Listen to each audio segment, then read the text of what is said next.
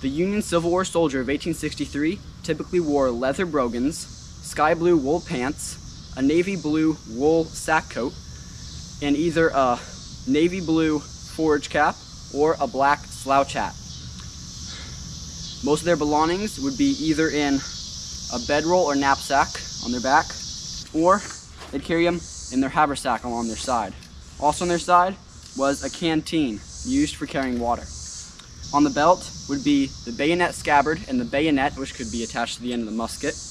The musket right here, a Springfield Model 1861, was fired with cartridges from the cartridge box and percussion caps from the cap pouch. This is what a typical Union soldier looked like during the American Civil War.